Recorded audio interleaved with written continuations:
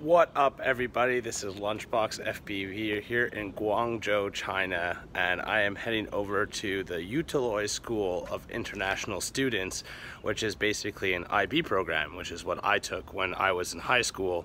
Um, it is an international school that is opening up a drone club and we are helping educate the kids about what FPV is all about. So today we are going on their lunchtime and we're gonna fly some micro drones and whoops and stuff like that, set up a little course and just show people what we're up to. Check back soon.